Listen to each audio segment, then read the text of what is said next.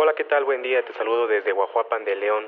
Te informo que 20 toneladas de víveres fueron entregadas a familias de las comunidades de San José La Pradera, Tacache de Mina, San José Socoteaca de Bravo, Santiago Tamazola, La Nueva Tenochtitlan, San Miguel Amatitlán y en diversas colonias de esta ciudad tras los daños que dejó el sismo del 19 de septiembre. Rosy Labastida, presidenta de la Asociación Mexicana de Mujeres Empresarias, capítulo Oaxaca AC, mencionó que los víveres fueron donados por empresarios de San Luis Potosí.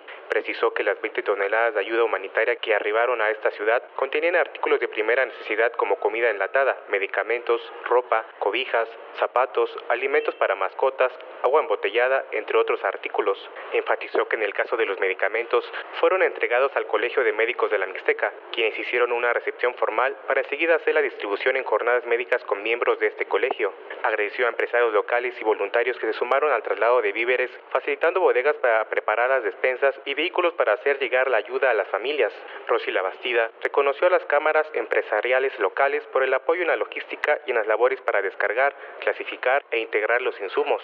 Consideró que las mujeres empresarias no solo dan muestra de liderazgo, también ponen el ejemplo al participar descargando los víveres, mientras que otras participaron en la Ciudad de México como rescatistas moviendo escombros.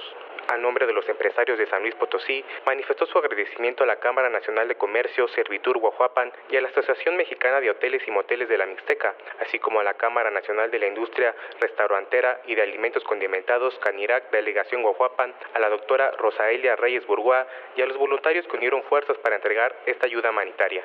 Este es mi reporte hasta el momento. Buenas tardes.